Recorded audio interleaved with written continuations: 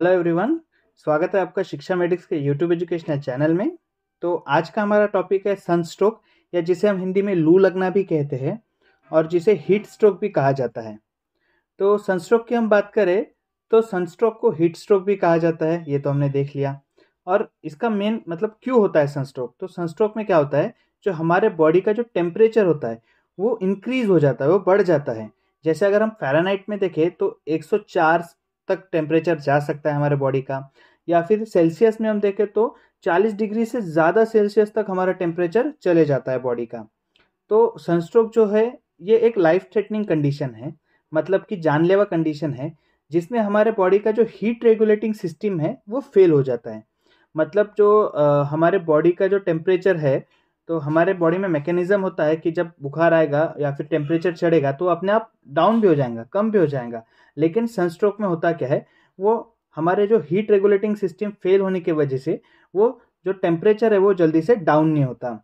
इसलिए ये एक लाइफ थ्रेटनिंग कंडीशन होती है। आ, कुछ कंडीशन में इमरजेंसी ट्रीटमेंट भी इसमें बहुत नीड रहती है। अगर हम इसके कुछ कारण देखें कॉजेस हम देखें तो जो हीट वेव के कॉन्टेक्स में आते हैं उनमें सनस्ट्रोक होने के चांसेस ज़्यादा रहते हैं। उसी के साथ हाई टेम्परेचर में जो ज़्यादातर रहते हैं हेवी वर्क करते हैं सनलाइट में। डायरेक्ट हीट के कांटेक्ट में अगर कोई आता है और जो पानी कम कंज्यूम करता है मतलब पानी ज़्यादा पीता नहीं है या फिर पानी कम पी रहे हैं तो उन कंडीशन में भी सनस्ट्रोक होने के चांसेस बढ़ जाते हैं।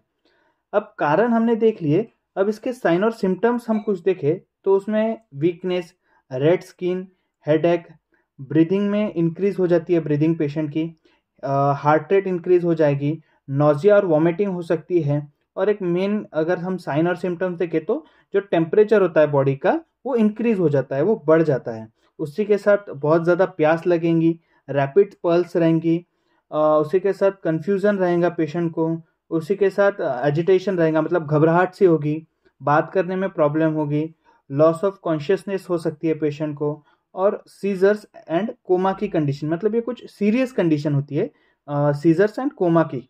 तो ये कुछ इसके साइन और सिम्टम्स है। अगर हमने साइन और सिम्टम्स देखे, पर इसका प्रिवेंशन क्या होगा? अगर इससे हमें बचना है तो हमें क्या करना है? तो सबसे पहले जो अल्कोहल कंज्यूम करते हैं तो उनको अल्कोहल बिल्कुल कंज्यूम नहीं करना है। बाहर जाते समय हमेशा कैप गॉगल्स हमें पहनने चाहिए। लाइट डाइट लेनी है बहुत ज़्यादा भारी खाना या फिर बाहर का खाना हमें नहीं खाना चाहिए। उसी के साथ जो कपड़े होते हैं वह पतले कपड़े हमें पहनने चाहिए, ज़्यादा मोटे कपड़े हमें नहीं पहनने चाहिए। उसी के साथ ठंडे पानी से हमें नहाना चाहिए, शावर लेना चाहिए ठंडे पानी का और बहुत ज़्यादा से ज़्यादा हमें पानी पीना चाहिए ऐसी कंडीशन में और लिमिटेड आउटडोर टाइम मतलब कि जो समर का सीज़न होता है, जो जनरली समर के सीज़न में सनस्ट्रोक के पेशेंट बढ़ जाते हैं तो समर के सीज़न में का हमें जो आउटडोर टाइम है, वो कम करना चाहिए। और अगर कुछ बाकी प्रिकॉशंस हम देखें कि प्रिवेंशन में क्या कर सकते हैं तो वाटरमेलन आप खा सकते हैं या फिर वाटरमेलन का जूस आप ले सकते हैं। रॉ मैंगो जूस आता है जिसे आम का पन्ना कहा जाता है वो भी आप पी सकते हैं।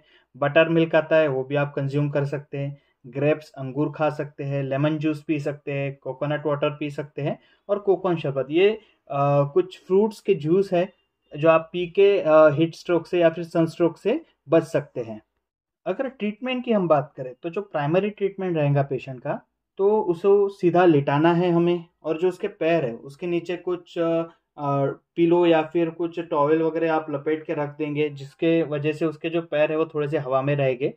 उसी के साथ कुछ पंखा वगैरह लगा देंगे उसके पास, पानी वगैरह पिलाएँगे उस पेशेंट्स को और जो मॉक करेंगे पेशेंट को ठंडे पानी के कपड़े से। मतलब कपड़े को हमें ठंडे पानी में डालना है, उसे निचोड़ना है और उस कपड़े से हमारे पूरे बॉडी को स्मोक करना है मतलब पोछ लेना है। जिस वजह से जो है ना हमारे बॉडी का टेम्परेचर वो धीरे धीरे कम हो जाएगा।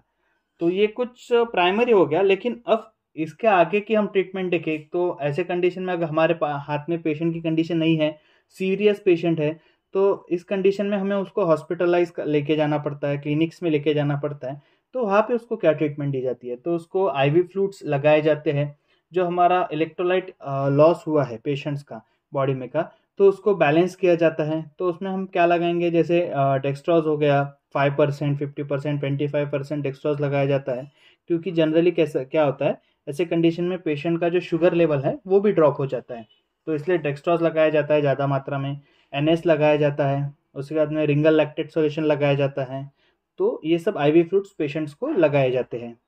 अगर हम देखें तो कुछ पेशेंट्स में, जैसे जिन पेशेंट में शिवरिंग की प्रॉब्लम है तो उसे रिड्यूस करने के लिए मतलब शिवरिंग्स को जो कम करने के लिए मसल रिलैक्सेंट हमें देने पड़ते हैं, जो बेंजोडाइजेपिन क्लास के जो मेडिसिन हैं तो अगर वो हम देंगे पेशेंट को तो वो एक मेजर रोल प्रोवाइड करते हैं शिवरिंग्स को कम करने के लिए।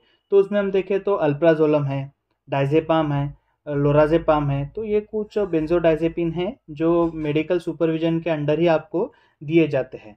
उसी के साथ हम देखें तो एसिडोसिस सीवियर एसिडोसिस की कंडीशन हो जाती है। तो उसमें कुछ अल्कलाइजिंग एजेंट्स पेशेंट को दिए जाते हैं, जैसे सोडियम बाइकार्बोनेट मैनिटॉल तो ये, जैसे मैं आपको ये सब मेडिसिन बता रहा हूँ तो ये आपको मेडिसिन सुपरविजन के अंदर ही लेने हैं। मतलब डॉक्टर के सामने है आपको मेडिसिन लेनी चाहिए, क्योंकि ये सारी कॉम्प्लिकेटेड कंडीशन होती है। और अगर हम इसके कुछ वार्निंग्स देखें तो ये आपको जानना बहुत ज़रूरी है।